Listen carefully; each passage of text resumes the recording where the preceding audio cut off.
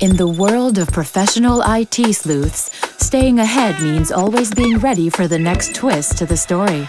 Because solving one puzzle often leads to other surprises. How does a good IT sleuth respond as a complicated plot unfolds and get help when he needs it? Managing complexity is all about staying on top of an ever changing situation.